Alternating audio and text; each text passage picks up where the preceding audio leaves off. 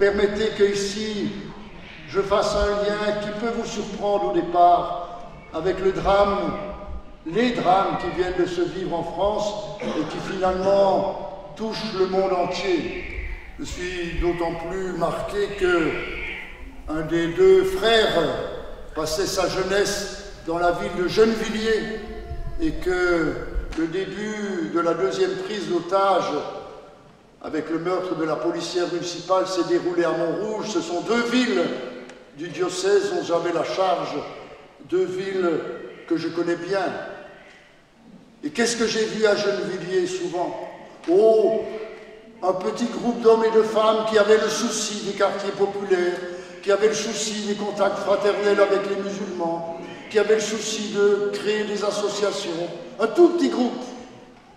Mais l'immense majorité de la population, indifférente, chacun dans son coin. J'ai vu aussi quelques chrétiens, y compris quelques jeunes, qui demandaient la confirmation. Oh, quelques-uns dans cette population si nombreuse. Et nous devons chacun nous demander, mais finalement, qu'est-ce qu'on peut faire? Qu'est-ce qu'il y a à faire?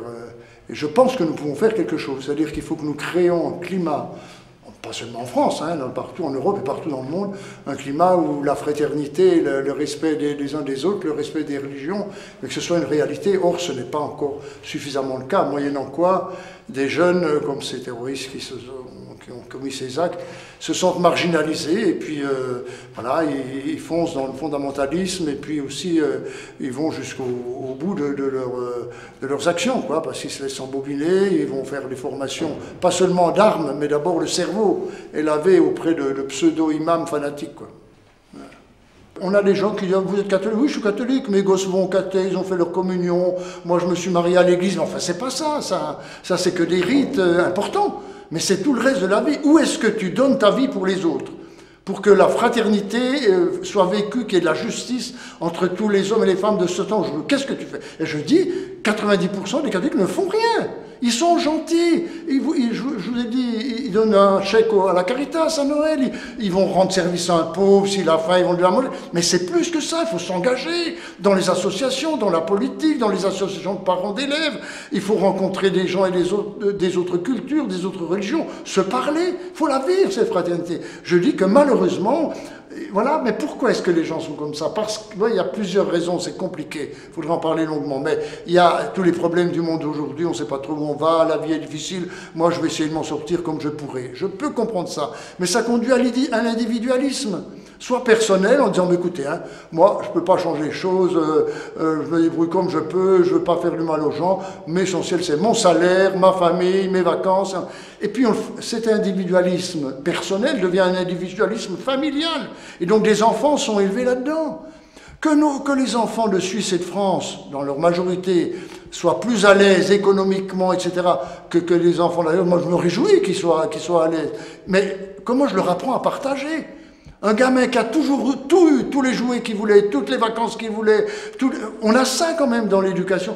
Qu'est-ce que ça va donner plus tard? La même chose, c'est-à-dire une petite vie tranquille, et pendant ce temps-là, l'injustice se déroule à l'égard se développe à l'égard de beaucoup de personnes, et ces personnes-là, à certains moments, se révoltent, et on, a, on peut arriver jusqu'au terrorisme.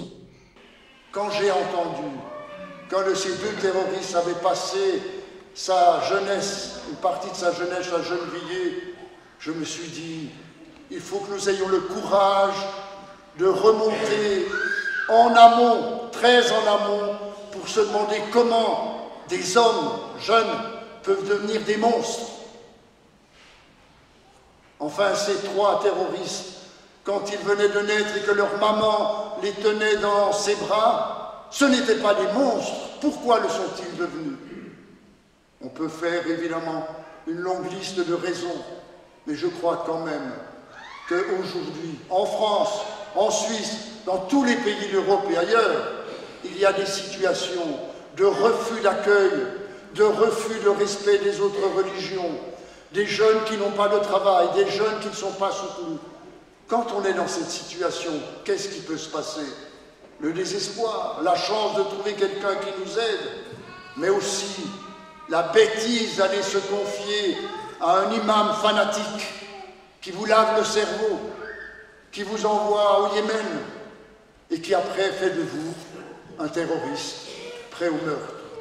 Ils, sont, défigurent l'islam, si vous voulez, euh, par la, pratique d'un terrorisme voilà, qui, qui, fait peur à tout le monde. Et alors il risque d'y avoir toujours l'amalgame, les gens qui disent voilà, les musulmans sont comme ça, si on continue de les accueillir, euh, l'Europe, la France, la Suisse seront islamiques dans quelques années, ce qui est complètement ridicule, mais on peut comprendre cette peur, d'où elle vient.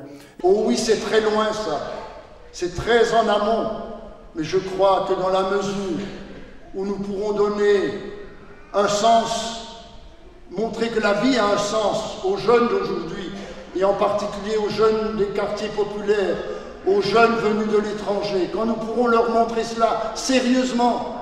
Euh, ça, c'est pas l'islam. L'islam ne, demande jamais ça, ne réclame jamais ça. C'est une perversion de, de, la religion musulmane. Alors, il ne faut pas qu'on fasse trop les malins, nous les chrétiens, parce qu'il y a quelques siècles, on n'a pas fait des attentats comme ça, mais on a quand même fait mourir des gens parce qu'on voulait les convertir, donc c'était quand même au, nom de Dieu, ça, ça a existé. Alors c'était pas tous les catholiques, pas tout, mais il y a eu ça. Bon, donc je dis, rappelons-nous et soyons humbles, mais ce n'était pas l'évangile à ce moment-là, c'était le, christianisme perverti, et bien maintenant, c'est l'islam perverti par ces, pauvres gens, ce sont des monstres, mais des pauvres gens en même temps, parce que euh, moi, je vois bien d'où il pouvait arriver. Je connais la ville où vivait l'un d'entre eux, le quartier dans lequel il était, parce que c'est un quartier difficile. Les jeunes sont désœuvrés, on les met de côté parce qu'ils sont d'origine euh, d'Afrique du Nord, etc. Et donc, ils se révoltent petit à petit, mais ils cherchent un sens à la vie et cherchent à réagir contre les gens. Donc, il suffit que quelqu'un leur mette la main dessus, comme un imam fanatique, et ils peuvent les retourner comme une crêpe, et après euh, ils vont partir en Irak ou au, Yémen pour se former, et voilà, ils auront et le cerveau dérangé, et le maniement des armes, et ils vont aller jusqu'au bout, terrible. C'est-à-dire que plus il y a de problèmes, plus il faut, plus il faut dialoguer, c'est à ça que je pense. Et ces dialogues, c'est pas seulement des discussions intellectuelles, hein, parce qu'il y en a, il y a des, dialogues très officiels. Il y avait récemment un, groupe d'imams français au Vatican pour discuter avec les cardinaux, etc. Mais euh, ce qui compte, c'est dans le quotidien de la vie des gens, dans les quartiers, comment on dialogue dans l'amitié, comment on se rencontre dans, les transports, dans, dans, les magasins, dans les immeubles, comment on se parle.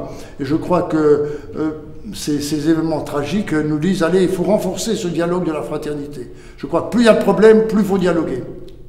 Je dirais aux enfants que Jésus est venu nous apprendre que Dieu est le Père de tous.